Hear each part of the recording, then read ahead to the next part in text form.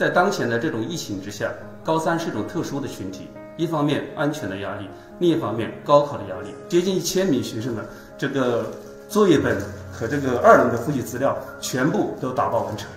这个争取尽快的推送给学生，让学生在家里面能够通过网络老师直播和结合这个二轮资料进行讲解。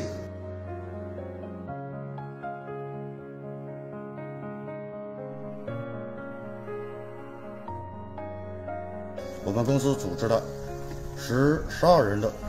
这个高考学习资料的集体专班，这次记得有九百多份学习资料，